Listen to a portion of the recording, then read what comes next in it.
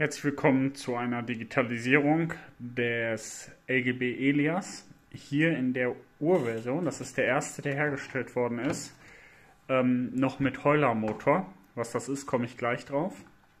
Ich möchte einmal die Digitalisierung vorstellen. Die ist für die neuen Fahrzeuge 1 zu 1 identisch, weil tatsächlich haben die an den Grundformen nie was geändert, sodass das ähm, wirklich komplett wie aus den, weiß ich nicht, von der gekommen ist, 60er Jahre oder so, 70er Jahre, ähm, kann man den 1 zu 1 übertragen. Man löst vorne und hinten je zwei Schrauben und kann dann ins Innere gucken.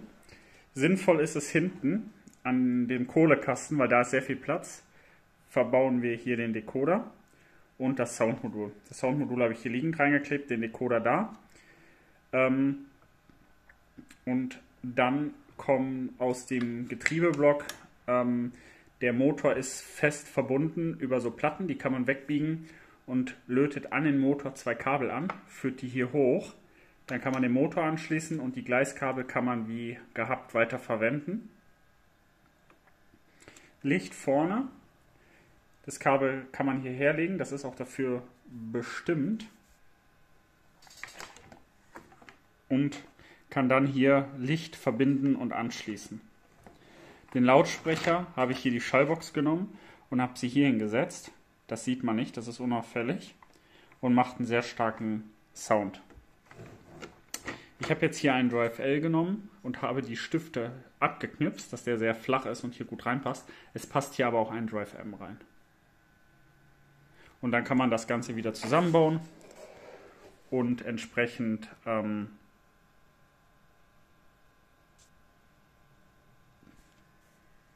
ja, dann kann man das wieder zusammenbauen und dann einmal das fahren. Ich zeige nochmal die Details. Hier blendet leider ein bisschen das Licht gerade. Hier, das ist einfach reingeklebt, über Susi angebunden und der Lautsprecher, den habe ich jetzt direkt an, den, an das ähm, Soundmodul gelötet, ohne das, das fünfpolige Kabel habe ich abgemacht. Das Kabel kann man hier herlegen man kann es auch hier in dieser Linie hier unten herlegen. Dann ist es komplett unsichtbar. Da muss man aber hier ein bisschen rausschneiden von, den, von diesen Querstäben. Ich weiß nicht, ob man die sieht. Hier. Ja. Verdampfer hat diese Urversion nicht. Ich habe gerade mal das Licht angeschaltet hier. Ähm, die hat keinen Verdampfer. Die neuen haben einen Verdampfer. Man kann ja auch einen Gepulsten einbauen. Da muss man halt hier noch ein paar Kabel mehr ziehen. Ich habe auch noch ein anderes Video, ähm, wo ich das Fahrzeug auch mit elektrischen und Kuppler in einer neueren Version von der Reichsbahn umgebaut habe. Das ist ähnlich, das sitzt auch alles genauso hinten. Da habe ich auch den, da habe ich glaube ich einen Drive M genommen in dem Video. Der Unterschied, die Heuler-Motoren, die hatten ein Getriebe, wo der Motor ein Planetenzahnrad quasi angetrieben hat und das hat die beiden Achsen angetrieben. Das war nicht so wie heute, dass der Motor zwischen den beiden Achsen sitzt und die direkt antreibt, sondern das ging über mehrere Zahnräder, ähm, Kunststoffzahnräder. Und das hört man halt, dieses Summen von den Zahnrädern, deswegen heißen die Heuler.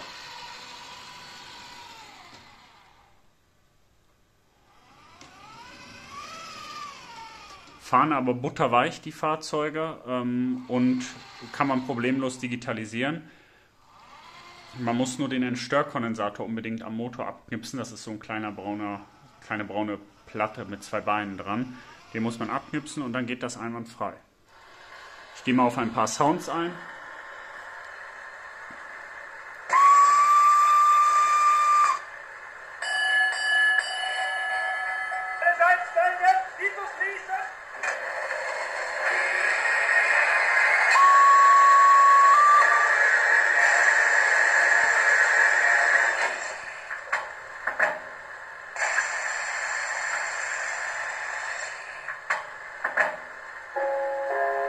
Einsteigen und Türen schließen. Vorsicht bei der Abfahrt.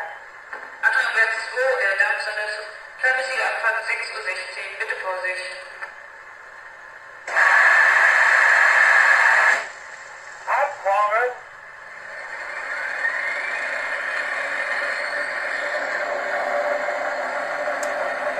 Es ist wieder das S66 Soundmodul eingebaut mit, mit den 40 Einzelgeräuschen. Ich habe jetzt mal ein paar vorgestellt. Ähm, die gesamte Liste beinhaltet 40 einzelne Geräusche. Ja. Es ist kein Taktgeber eingebaut, sondern per Simulation.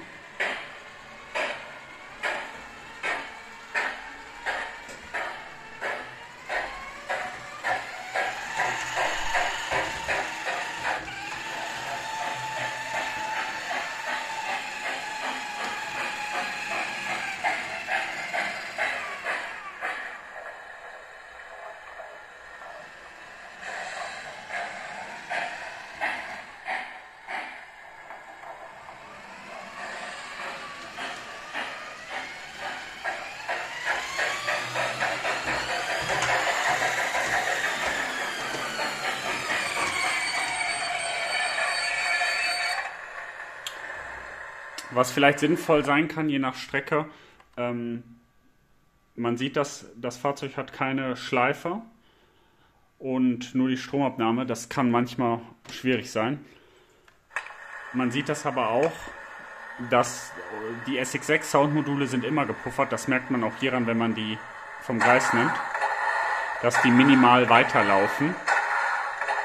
Ähm, aber ein Mini-Cap zum Beispiel wäre sinnvoll, den kann man auch hier hinter verstauen und legt dann das Kabel einfach hier rüber. Man sieht, das läuft noch so eine Sekunde nach, der Sound. Das, wie üblich bei den SX6.